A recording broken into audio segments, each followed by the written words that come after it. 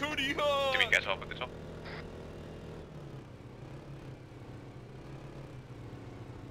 Tippy, am I gonna have a based moment when I see it? I think this is a base moment. Get it, guys. Judging by the flag, might be in front. User A la based moment. Oh shit. Muhammad Rasulullah